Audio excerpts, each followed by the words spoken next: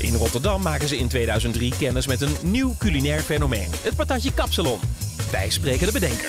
De kapper hiernaast had toen een werknemer die graag een schotel in een bakje wou.